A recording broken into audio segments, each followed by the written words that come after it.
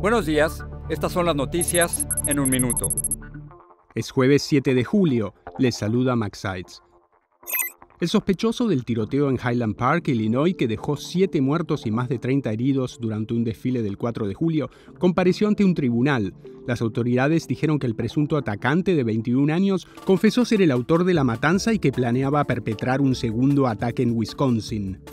Un reporte sobre la actuación policial en el tiroteo de la escuela de Ubalde, donde murieron 19 niños y dos maestras, concluyó que un agente armado pudo neutralizar al atacante antes de que entrara al edificio, pero no lo hizo porque esperaba la orden de su supervisor.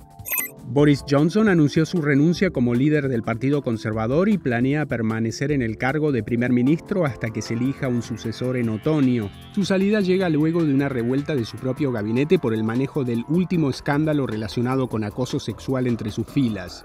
El Servicio Meteorológico alertó que 78 millones de estadounidenses en 18 estados enfrentarán hacia el fin de semana un clima extremo, con fuertes tormentas y una ola de calor. Más información en nuestras redes sociales y univisionoticias.com.